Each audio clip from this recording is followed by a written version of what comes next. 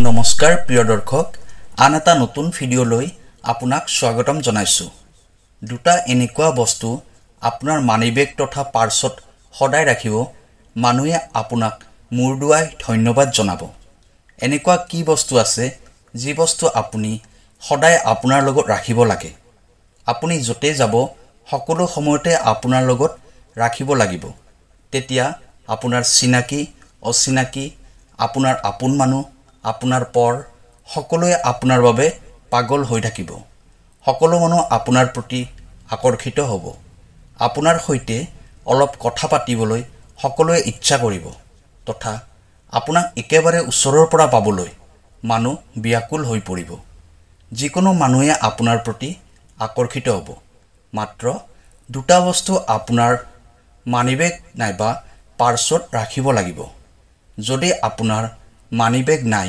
তথা আপুনি মানিবেগ ব্যৱহাৰ নকৰে তেনেহ'লে আপোনাৰ পকেটত ৰাখিব সেই দুটা গুপ্ত বস্তু। আপুনি চাগে নিজেই বহুতবাৰ দেখিছে যে কোনোবা এজন এনেকুৱা ব্যক্তি যিয়ে সাধাৰণভাৱে কথা পাতি আছে। সাধাৰণভাৱে ঘৰুৱা কথা পাতি আছে নাইবা সাধাৰণ কিবা কথা পাতি আছে কিন্তু ইমান ভিৰৰ মাজৰ পৰা কেৱল তেওঁকে সকলোৱে চাই আছে। অৰ্থাৎ সেই ব্যক্তিজনে যে কিবা কথা পাতি আছে সকলোৱে তেওঁৰ মুখৰ ফালে ৰ লাগি চাই আছে। কিয় চাই আছে তেওঁৰ ফালে? কি আছে এনেকুৱা ৰহস্য তেওঁৰ কথা বাৰ্তাত কাৰণ তেওঁৰ ব্যক্তিত্বত সেইখিনি ওজন আছে সেইখিনি আকৰ্ষণ আছে যাৰ বাবে মানুহে তেওঁৰ প্ৰতি আকৰ্ষিত হৈছে। তেওঁ কোনো জ্ঞানবৰ্ধক কথা কৈ থকা নাই তথা তেওঁ দেখিবলৈ ধুনীয়াও নহয়।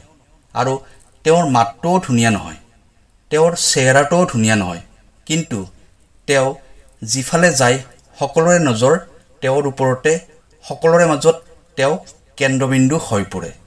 অৰ্থাৎ তেওঁৰ ব্যক্তিত্বত সেই আকৰ্ষণ আছে যিটো আপোনাৰ ব্যক্তিত্বত নাই। আপুনি নিজেই আপোনাৰ পৰিয়ালৰ ভাই ভনীসকলৰ মাজত দেখিছে চাগে পৰিয়ালৰ যিমান মানুহ আছে সকলো মানুহৰ ভিতৰত পৰিয়ালৰ এজন মানুহৰ কথা সকলোৱে শুনে। তেওঁ যি কথা কয় সেই কথা কোনেও না কৰিব নোৱাৰে। কাৰোবাৰ কিবা সমস্যা হ'লে তেওঁক কয়।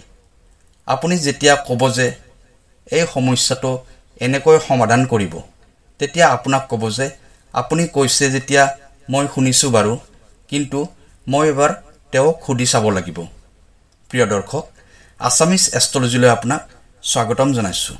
মই এষ্ট্ৰলজাৰ ধীৰেজ শৰ্মা ভিডিঅ'টো শ্বেয়াৰ কৰি দিব আৰু কমেণ্টত লিখিব জয় মা লক্ষ্মী। প্ৰিয় দৰ্শক যদি আপোনাৰ ব্যক্তিগতভাৱে কিবা সমস্যা হৈ আছে যেনে ধৰক আপোনাৰ ব্যৱসায়ৰ ক্ষেত্ৰত আপোনাৰ চাকৰি আপোনাৰ শিক্ষা আপোনাৰ বিবাহক লৈ কিবা সমস্যা হৈ আছে তেনেহ'লে ভিডিঅ'ৰ স্ক্ৰীণত দিয়া নম্বৰত আমাৰ সৈতে যোগাযোগ কৰিব।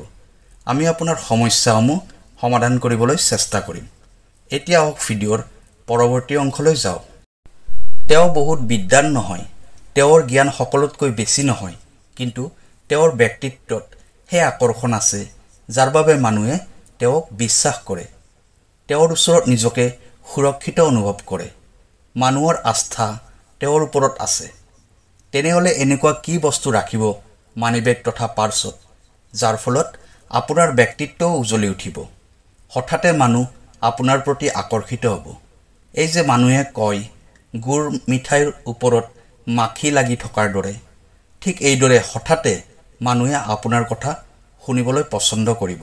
আপোনাৰ সৈতে কথা পাতিবলৈ ইচ্ছা প্ৰকাশ কৰিব। আপুনি যি বিক্ৰী কৰিব বিচাৰিব মানুহে সেই বস্তুৱেই কিনিব। আপুনি য'তেই থাকিব মানুহে আপোনাৰ সৈতে বন্ধুত্ব কৰিব। আপোনাৰ ওচৰত সকলোৱে থাকিব বিচাৰিব। বহুত সৰু উপায় হয় এটা সৰু প্ৰয়োগ হয়। যদি আপুনি কৰিব পাৰে বহুত ভাল এটা ফলাফল লাভ কৰিব আপুনি। আপোনাৰ নিজৰ ভিতৰৰ পৰা এট্ৰেকশ্যনটো ইমানেই বৃদ্ধি হ'ব যে মানুহে আপোনাৰ পিছে পিছে ঘূৰিব। মানুহে কেতিয়াবা কোৱা শুনিছে চাগে এই মানুহজনক দেখিলেই কিবা এটা মনটো ভাল লাগি যায়। এই মানুহজনৰ সৈতে কথা পাতি বহুত ভাল লাগে ইত্যাদি। কিন্তু তেওঁ ইমান জ্ঞানবৰ্ধক কথাও নকয়। তথাপি মানুহ তেওঁৰ প্ৰতি পাগল হৈ থাকে। এইটোৱে হ'ল এই উপায়টোৰ অদ্ভুত কথা। ধ্যান দি শুনিব কেতিয়া কৰিব লাগিব কোনদিনা কৰিব লাগিব কেনেকৈ কৰিব লাগিব এইটো প্ৰয়োগ। প্ৰিয় দৰ্শক যিসকলে এই চেনেলটোলৈ নতুনকৈ আহিছে আছামিজ এষ্ট্ৰলজি চেনেলটো ছাবস্ক্ৰাইব কৰি দিব। ইমানলৈ যদি আপুনি আমাৰ কথাবোৰ শুনি ভাল লাগিছে তেনেহ'লে এটা লাইক কৰি দিব। আমি প্ৰতিদিনে এনেকুৱা কিছুমান উপায়ৰ কথা কওঁ যিবোৰ উপায় প্ৰয়োগ কৰি আপোনাৰ ভাগ্য পৰিৱৰ্তন কৰি দিব পাৰে। যিকোনো মাহৰ শুক্লাপক্ষৰ পৰা এই উপায়টো কৰিবলৈ আপুনি আৰম্ভ কৰি দিব। কাৰণ যেতিয়াই এট্ৰাকশ্যনৰ কথা কয় হয় আকৰ্ষণৰ কথা হয় ধন সম্পত্তিৰ কথা হয় বিবাহৰ কথা হয় এইবোৰৰ ক্ষেত্ৰত যদি আপুনি যিকোনো প্ৰয়োগ নাইবা উপায় কৰিব বিচাৰে তেনেহ'লে এইটো আপুনি শুক্লাবক্ষৰ পৰাই আৰম্ভ কৰিব। কৃষ্ণাবক্ষৰ পৰা এইবোৰ উপায় কেতিয়াও নকৰিব। কিন্তু তামসিক উপায় থাকে সেইবোৰ কৃষ্ণাবক্ষত আৰম্ভ কৰা হয়। আৰু সেই উপায়বোৰ সফলো হয়। কিন্তু এই উপায়টো আপুনি শুক্লাবক্ষৰ পৰাই আৰম্ভ কৰিব লাগিব। কোনদিনা কৰিব লাগিব এইটো প্ৰয়োগ? এইটো প্ৰয়োগ কেৱল বৃহস্পতিবাৰে কৰিব লাগিব। এই প্ৰয়োগটো পুৰুষসকলে যদি কৰে তেনেহ'লে তিয়াল্লিছ দিন কৰিব লাগিব ফৰ্টি থ্ৰী ডেইজ। আৰু মহিলাসকলে কৰিলে একৈছ দিন কৰিব লাগিব। মনত ৰাখিব তিয়াল্লিছ দিন প্ৰয়োগটো পুৰুষসকলে কৰিব লাগিব আৰু একৈছ দিন মহিলাসকলে কৰিব লাগিব। এই প্ৰয়োগটো একৈছ দিন আৰু তিয়াল্লিছ দিন কৰিব দিছোঁ। এইটো সত্য কথা। কিন্তু যিদিনাৰ পৰাই আপুনি প্ৰয়োগটো আৰম্ভ কৰিব সেইদিনাৰ পৰাই আপোনাৰ কথা বাৰ্তা আপোনাৰ ব্যৱহাৰ আপোনাৰ ব্যক্তিত্বত তথা আপোনাৰ ওচৰ পাজৰৰ পৰিৱেশটোত এটা পৰিৱৰ্তন আপুনি নিজেই দেখিবলৈ পাব। সন্মুখৰ পৰা আপোনাক কোনোবাই কৈয়ে দিব যে কি হ'ল? আপুনি দেখোন আগতকৈ বেলেগ বেলেগ লগা হৈছে। বহুত ভাল লগা হৈছে আপোনাক আগতকৈ। ইমান ধুনীয়া ধুনীয়াকৈ কথা কয় আপুনি। আপোনাৰ দিন ভালৰ ফালে আহিছে চাগে। কোনোবাই আকৌ ক'ব ভগৱানে কৰক তোমাৰ দৰে বুদ্ধিমান সকলোৱে হওক। কিমান জ্ঞান আছে তোমাৰ ভিতৰত। এইদৰে মানুহে আপোনাৰ প্ৰতি আকৰ্ষিত হ'বলৈ আৰম্ভ কৰিব। আপোনাৰ কথাবোৰ শুনি মানুহে ভাল পাব ধৰিব। মাত্ৰ দুটা বস্তু আপোনাৰ মানিবেগ তথা পাৰ্চত ৰাখিব আৰু সদায় ৰাখিব এনেকৈ যদিয়ে এইদৰে সকলোৰে আকৰ্ষণৰ কেন্দ্ৰবিন্দু হৈ থাকিব বিচাৰে। আপুনি মাত্ৰ পাৰ্চত দুটা বস্তু ৰাখিব লাগিব। নম্বৰ এক এখন হালধীয়া কাপোৰ ল'ব। সেই হালধীয়া কাপোৰখনৰ এটা সৰু মোনা বনাব আৰু সেই মোনাখনৰ মুখখন খোলাকৈ ৰাখিব। তাৰপিছত আপুনি একৈছটা সেউজীয়া চফ সেই মোনাখনৰ ভিতৰত ৰাখিব। হিচাপ কৰি চফকেইটা ফৰাব। মাত্ৰ একৈছটা সেউজীয়া চফ সেই চফকেইটা কেঁচা চফ হয়। কেৱল একৈছটা চফ ল'ব লাগে। তাৰপিছত ইয়াৰ ভিতৰত এটা ৰূপৰ টুকুৰা ভৰাই দিব। এটা একেবাৰে সৰু ৰূপৰ টুকুৰা ভৰাই দিব। নাইবা ৰূপৰ কইনছ ভৰাই দিব পাৰে। ৰূপৰ আঙুঠি ভৰাই দিব পাৰে। নাইবা জুৱেলাৰীতকৈ ৰূপৰ যে তাঁৰ থাকে তাৰ পৰা অলপ ৰূপৰ তাঁৰ কাটি মোনাখনত ভৰাই দিব পাৰে। এই যে আপুনি হালধীয়া মোনাখনত একৈছটা সেউজীয়া চফ ৰাখিছে এইটো হ'ল শ্ৰীহৰি বিষ্ণু আৰু ৰূপখিনি হ'ল মা লক্ষ্মী।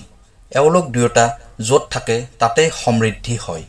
তাত আকৰ্ষণ থাকে তাত সৌন্দৰ্য থাকে আৰু তাতেই গুৰু বলৱান হৈ থাকে। গুৰু অৰ্থাৎ বৃহস্পতি কোন হয়? স্বয়ং শ্ৰীহৰি বিষ্ণু হয় যি আমাৰ মনোবল হয়।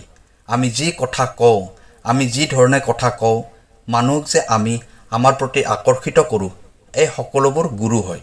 মানুহৰ বাবে যে আমি আকৰ্ষণৰ কেন্দ্ৰবিন্দু হৈ পৰোঁ আমি যে হাঁহি থাকোঁ মানুহে যে আমাৰ প্ৰতি আকৰ্ষিত হয় আমি যে মানুহক এট্ৰেক্ট কৰিব পাৰোঁ এইটো শুক্ৰ হয়। ইয়াত আমি শুক্ৰৰো কাম কৰিছোঁ গুৰুৰো কাম কৰিছোঁ। যিখন হালধীয়া মোনাত আপুনি এই বস্তুবোৰ ভৰাইছে সেই মোনাখনৰ মুখখন তৎক্ষণাত চিলাই কৰি দিব যাতে বস্তুবোৰ পৰি নাযায়। ইয়াত ধ্যান দিব যে প্লাষ্টিকৰ বেগ নাইবা কাগজত মোৱাৰি লৈ এই বস্তুবোৰ নাৰাখিব। এই বস্তুবোৰ কাপোৰৰ মোনাতে ৰাখিব লাগিব। এতিয়া এই মোনাখন আপুনি বৃহস্পতিবাৰে আপোনাৰ পাৰ্চ নাইবা মানিবেগত ৰাখিব লাগিব। মহিলাসকলে কৰিলে নিজৰ পাৰ্চত ৰাখিব আৰু পুৰুষসকলে কৰিলে নিজৰ ৱালেটত ৰাখিব। যদি আপুনি পাৰ্চ ব্যৱহাৰ নকৰে তেনেহ'লে এইটো বস্তু আপোনাৰ জেপতো ৰাখিব পাৰে। যিকোনো মাহৰ শুক্লাপক্ষৰ বৃহস্পতিবাৰৰ দিনা এই বস্তুটো আপুনি নিজৰ জেপত ৰাখিব আৰু মহিলাসকলে একৈছ দিন আৰু পুৰুষসকলে তিয়াল্লিছ দিন নিজৰ জেপত কঢ়িয়াই লৈ ফুৰিব। যেতিয়া ৰাতি হ'ব এই বস্তুটো পকেটৰ পৰা উলিয়াই কোনোবা শুদ্ধ স্থানত ৰাখিব আৰু পিছদিনা আপুনি স্নান কৰি আহি কাপোৰ পিন্ধাৰ সময়ত এই বস্তুটো পকেটত ৰাখিব। কিন্তু চৌব্বিছ ঘণ্টাই এইটো আপোনাৰ ওচৰত থাকিব।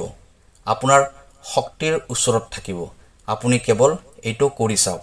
কেনেকৈ মানুহবোৰ আপোনাৰ প্ৰতি আকৰ্ষিত হ'ব আপুনি নিজেই আচৰিত হৈ যাব। যিদিনাৰ পৰা আপুনি আৰম্ভ কৰিব সেইদিনাৰ পৰা ইয়াৰ অনুভৱ কৰিব পাৰিব। আপুনি যি কৈ থাকিব মানুহে মনোযোগ দি শুনি থাকিব। আপোনাৰ অফিচৰ বছে আপোনাক লৈ কোনোদিনে সুখী নহয়। তেওঁ আপোনাৰ প্ৰতি আকৰ্ষিত হ'ব। আপোনাৰ কামক লৈ তেওঁ সুখী হ'ব। ঘৰৰ সকলোৱে আপোনাৰ প্ৰতি আকৰ্ষিত হ'ব। আপোনাৰ পত্নীও আপোনাৰ প্ৰতি আকৰ্ষিত হ'ব। যদি আপুনি মহিলা হয় আপোনাৰ স্বামীও আপোনাৰ প্ৰতি আকৰ্ষিত হ'ব। আপোনাৰ ল'ৰা ছোৱালীয়ে আপোনাৰ কথা শুনিব আৰম্ভ কৰিব। আগতে যদি আপোনাৰ কথা শুনা নাছিল অৰ্থাৎ আপোনাৰ ভিৰৰ ভিতৰৰ এট্ৰাকশ্যন ইমানেই বাঢ়ি যাব যে মানুহে আপোনাৰ ওচৰলৈ নিজে নিজে আহি যাব। এনেকুৱা অদ্ভুত হয়। এনেকুৱা চমৎকাৰী হয় এইটো প্ৰয়োগ। আপুনি নিশ্চয় এবাৰ কৰি চাব। শুক্লাপক্ষৰ বৃহস্পতিবাৰে আৰম্ভ কৰিব। আৰু চাব চাব এই একৈছ দিন তিয়াল্লিছ দিন পিছত কি পৰিৱৰ্তন আপোনাৰ ব্যক্তিত্বত আপোনাৰ জীৱনত কেনেকুৱা ধৰণৰ পৰিৱৰ্তন আহে? কেনেকুৱা ধৰণৰ যাদুৰ দৰে পৰিৱৰ্তন আহিব আপোনাৰ জীৱনত?